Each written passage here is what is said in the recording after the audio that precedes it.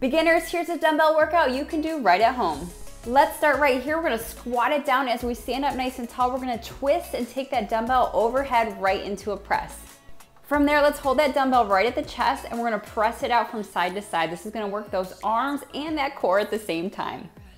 Next up, let's hit that back here with an alternating dumbbell row. We're gonna wanna hinge forward, hips back, driving those elbows to the ceiling.